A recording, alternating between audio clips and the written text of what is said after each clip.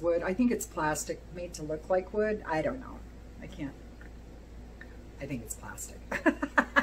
I like to handle and bite things to see if they're real. Yeah, I'm going to leave that at that because that sounded a little double entendre-ish. Hi everyone, I'm Moody Boo and I am back with another perfume review because it's what I do. anyway, um, I have loved the House of Carner Barcelona for quite some time. And I don't know that they've ever put out a perfume that I have tried that I disliked. I may not have loved all of them enough to buy a full bottle, but pretty close to everyone that I've tried. Yep, I bought a full bottle and this one is no exception. Tested it, popped for it, and I'm so happy. This is Fig Man by Carner Barcelona. He's Fig Man on campus. I'm telling you, this is so good. Fig is one of those notes that I'm kind of in and out of. Um, I never fell in love with Philosykos um, by uh, Diptyque. I liked it. I owned a bottle. I went through about half of it and then moved it on down the road. There have been some figs that I adored, but none that I recall has made me go, holy shit, ski Batman. I think I need me a bottle of this. And this one did. Um, I wish they hadn't put the word man on it because I don't think that's appropriate.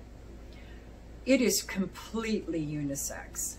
Absolutely. It's um, fig, fig tree, aquatic notes. There's some bergamot, gaiac, cardamom, violet, patchouli, and tonka. This fig. It's, it's fresh, it has a hint of sweetness, but not a lot. It's more moist, green, fresh fig than it is sweet, gourmandy, or even super fruity fig. This is like eating ripe figs um, that you have just plucked from a fig tree next to the ocean kind of a thing. So this at the beginning doesn't have a lot of sweetness. It's mostly this tart, green, fresh, moist fig smell.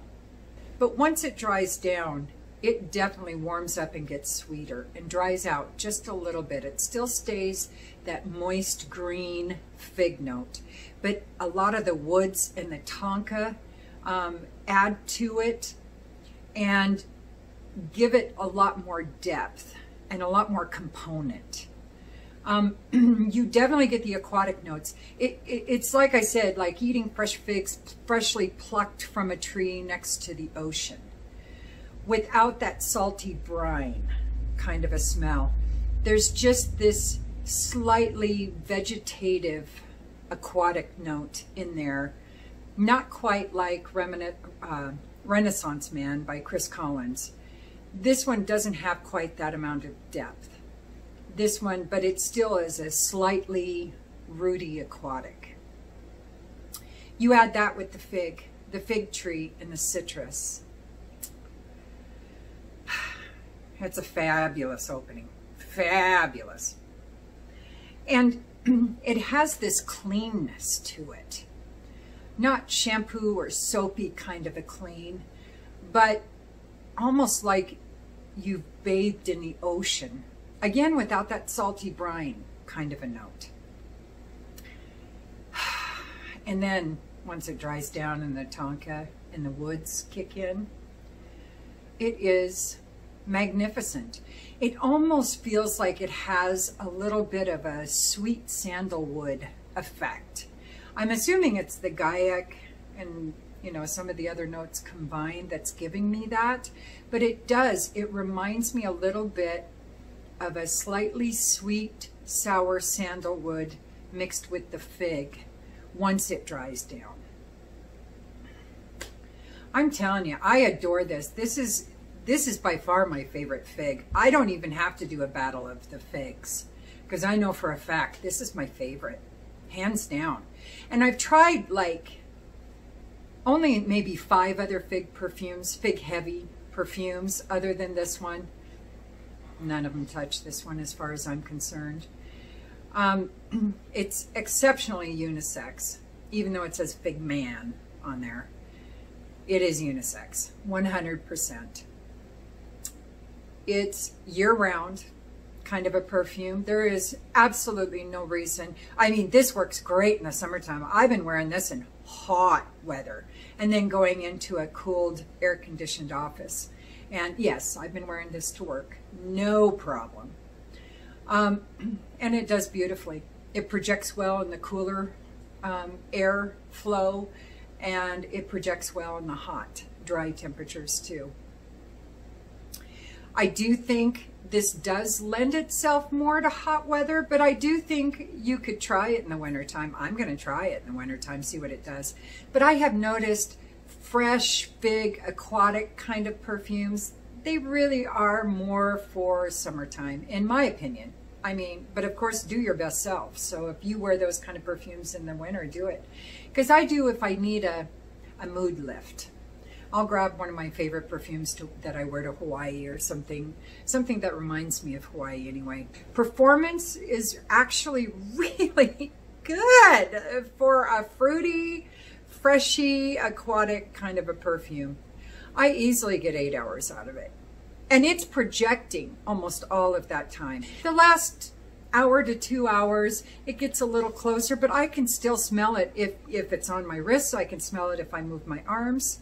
If it's on my neck, I can smell it when my hair brushes against it. It may not project as much um, at the end of its journey, but it's still, I can smell it. It is not a skin scent at the end of the day. So prices are really good for Carner Barcelona. I got this at Jovoy. Um, and I love Jovoy because they, they send these incredible samples. Um, you just request them just like you do at Luckyscent. So Oh, it's a fabulous perfume. Bottles are great because they're stackable, so I stack all of my Carner. I know that's probably sacrilege or something, but I don't care. That's what I do. Um, so I like that, but they're just industrial, not really industrial. They're just kind of, you know, very simple bottles. And this is a, I don't know if that's wood. I think it's plastic made to look like wood. I don't know. I can't I think it's plastic. I like to handle and bite things to see if they're real. Yeah, I'm going to leave that at that because that sounded a little double entendre-ish. So, great stuff. Highly, highly recommend. If you love figs in perfume, oh my God, you've got to try Fig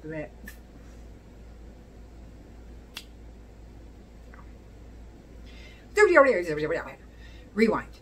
Oh, I just love it. I just love it. I really was surprised by that one because I didn't expect to. Because like I said, fig, it's kind of hit and miss with me. Um, if it's too salty, if it doesn't have a some personality, some flavor in there, eh, I'd rather eat them than smell them. So, okay, well that's it. A quickie dicky. You know what I mean. Well, anyway, thank you so much. Don't forget to like and subscribe and ding, ding, ding the bell if you want. If you don't, it's all good. I still love you. All right, use your own nose, everybody. Peace.